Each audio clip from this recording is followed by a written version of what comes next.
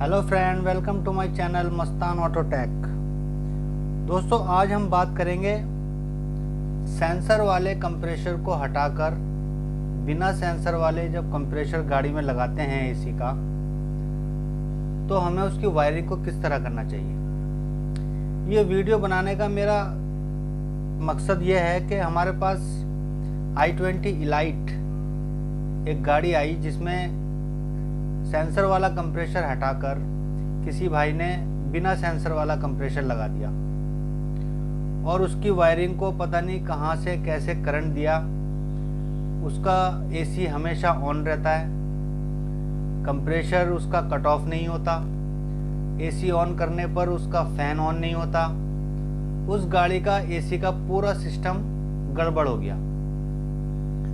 तो जब वो गाड़ी हमारे पास आई तो मुझे लगा हमें इस पर एक, इस पर एक मुझे वीडियो बनानी चाहिए ताकि लोगों का नुकसान होने से बचे और सही तरीके से हम, अगर भाई लोग इसे देखकर उसकी वायरिंग कनेक्शन को सही करते हैं तो शायद गाड़ी वालों का नुकसान नहीं होगा और और प्रॉब्लम कोई आएगी नहीं एसी में। तो जब सेंसर वाले कंप्रेशर को हटाकर उसकी जगह बिना सेंसर वाला कंप्रेशर लगाते हैं कुछ भाई। तो उसकी वायरिंग को हमें ध्यान देना चाहिए। ये सेंसर है कंप्रे एसी कंप्रेशर का। इसके कपलर में दो वायर आती हैं। तो हमें करना सिर्फ़ ये होता है कि हमें पुराने कंप्रेशर से इस सेंसर को निकालना है। और इस सेंसर को हमें किसी टेप से या टाई बेल्ट से किसी चीज़ से बाँध देना है, वायरिंग के साथ। जब हम सेंसर वाला कंप्रेशर हटाकर बिना सेंसर वाला कंप्रेशर लगाते हैं गाड़ी में 507 इस टाइप के यूनिवर्सल कंप्रेशर लगा देते हैं तो हमें उसकी वायरिंग को इस तरीके से करना चाहिए। इस सेंसर को हमें पुराने कंप्रेशर से निकालना चाहिए और इस सेंसर को हमें टेप लगाकर या टाई बेल्ट लगाकर किसी चीज़ से बाँध देना चाहिए और इसका कपलर हमें इसमें लगा देना चाहिए। और इसके कपलर में जो दो वायर आती हैं, दोनों वायर को बीच में से छील लेना चाहिए। और एक अलग से हमें इसमें रिले लगानी चाहिए। ये रिले है फोर पिन रिले जब हम इसके कपलर में से दोनों वायर को छील लेंगे तो एक वायर को हम लगाएँगे रिले के 85 नंबर में और एक वायर को लगाएँगे 86 में। इसमें कपलर लगा रहने देंगे, बीच में से वायर को छीलेंगे 85 को लगा देंगे एक वायर में और 86 को लगा देंगे एक वायर में।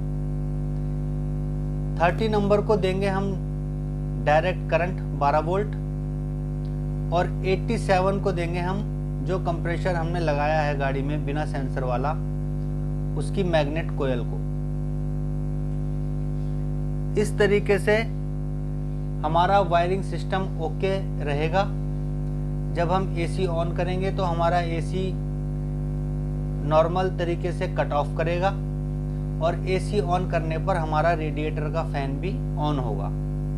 अगर आप ये सेंसर नहीं लगाते हैं और अलग से रिले वगैरह लगाकर करंट देते हैं कंप्रेशर को तो ना तो हमारा रेडिएटर का फ़ैन ऑन होगा एसी ऑन करने पर और ना हमारा कंप्रेशर ऑटो कट होगा, जिससे एसी सही तरीके से काम कर ही नहीं पाएगा गाड़ी में।